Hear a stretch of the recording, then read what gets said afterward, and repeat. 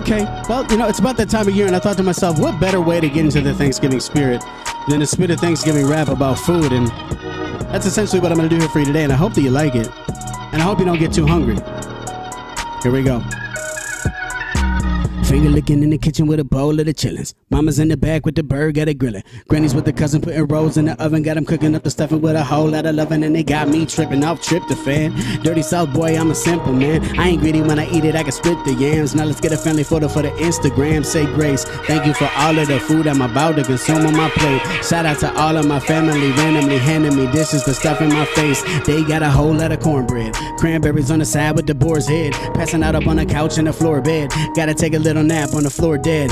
Why? Look, Turkey just got me so shook. I eat it up by the foot. Wake up for seconds, I won't learn my lesson. Cause damn it, my mama's a hell of a cook. She got that chicken, turkeys, rat, you name. Beans, greens, potatoes, tomatoes, lamb,